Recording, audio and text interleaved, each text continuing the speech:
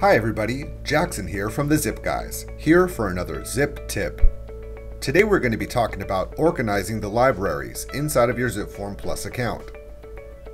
From the Transactions page, select your transaction. Click on the All Forms menu in the upper right. We can see here at the top that we are looking at the Car Forms library currently. When you hover over the library menu, you will see a message prompting you to click here to view more libraries. When we click on the Libraries menu, we see all the current libraries that we're assigned. Let's select the car sample letters.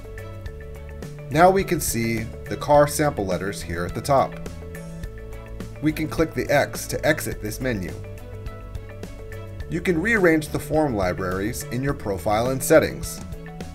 Click on the Me menu in the top right to access your profile and settings. Select Forms on the top menu. This is your current list of form libraries in the order that they show up in the All Forms menu. To change the order, click Organize.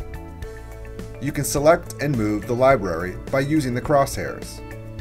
Let's move the car library from the top to just under the EPUBs library. Once you have arranged the libraries to your liking, click the Done Organizing button.